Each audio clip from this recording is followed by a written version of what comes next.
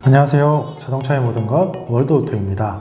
영상 시작하기 앞서 저희 채널은 리스와 장기 렌트로 차량 구매하시는 분들을 위한 유익한 정보를 드리는 채널임을 알려드리며 매일 올라오는 프로모션 내용을 받아보길 원하시는 분들은 구독과 알림 설정 부탁드리도록 하겠습니다.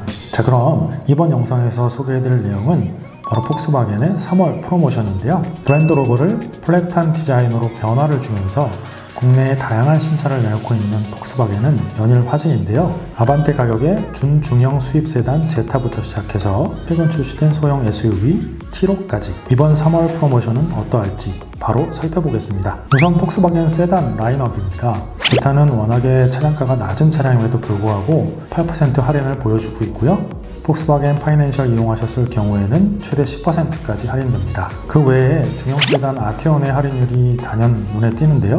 폭스바겐 파이낸셜 이용 시 최대 20%로 1200만원가량 할인 받으실 수 있기 때문에 수입 2세그먼트 경쟁 모델 간의 높은 가성비를 자랑하고 있네요. 다음은 SUV 라인업입니다. 우선 갓 출시한 따끈따끈한 신차 티록은 출시 가격이 다소 높게 책정되었다는 말이 많은데요. 많은 국내 소비자분들이 제타 정도의 가성비를 원했지만 최소 3,600만원대로 출시되어서 많이 아쉬운 것 같네요. 다음으로 수입 SUV 베스트셀러이자 폭스바겐의 효자 모델 티구안은 올해 facelift를 앞둔 상황이기 때문에 20년식 재고로 진행 가능하신데요.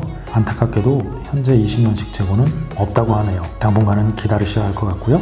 반면에 티구안 올스페이스는 현재 10에서 12% 프로모션 중에 있습니다. 대형 SUV 투아렉은 역시 최대 14% 할인으로 좋은 프로모션 진행 중이며 보증 연장 및 trade-in 프로모션까지 추가로 진행 중이니 참고 부탁드리겠습니다. 이렇게 해서 폭스바겐 3월 프로모션 간단하게 살펴보셨는데요. 원하시는 차량의 재고 상황이나 기타 궁금한 점에 대한 상세한 상담이 필요하신 분들께서는 영상 속의 번호로 편하게 문의 주시길 바라겠습니다.